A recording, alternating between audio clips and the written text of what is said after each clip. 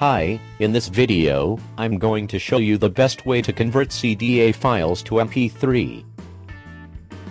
Converting CDA files to MP3 is important, since it allows users to play their favorite audio tracks anytime they want, without inserting the CD on their computer. In converting CDA files to MP3, the finest way to do it is by using an app called Streaming Audio Recorder.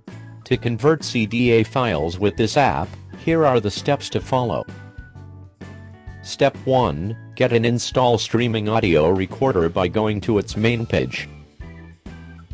Step 2. Insert a CD with songs into the CD-ROM. Step 3. Select CD Ripper from the Tools menu. Step 4. Choose the CD drive from the drop-down list and select the tracks you want to save on your computer.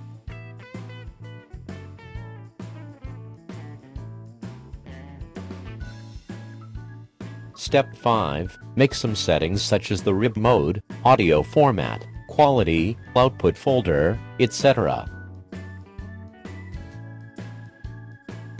Step 6. Click the Start button to begin the ripping process.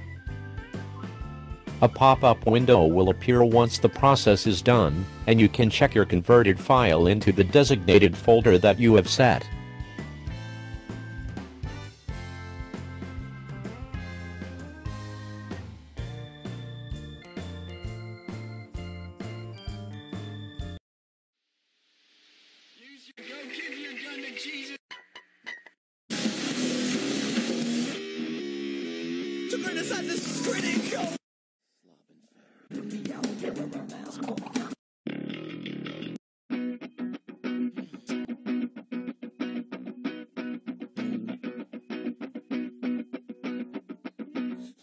And that's the best way to convert CDA files to MP3. Thank you for watching.